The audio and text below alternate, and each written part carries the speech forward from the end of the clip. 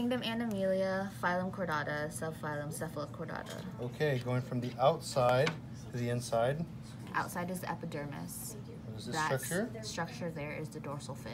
This structure, Is the myotomes, this structure, and this structure. caudal fin, This post-anal tail, right here. metapleural folds.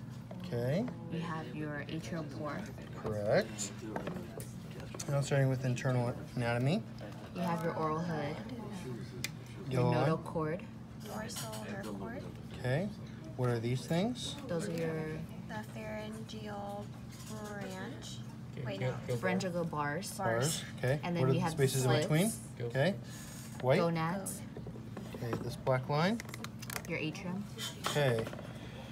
What is this orange? pharynx, Okay, what is this green? hepatic cecum, intestine, anus, what is the space right here? coelom. That is it.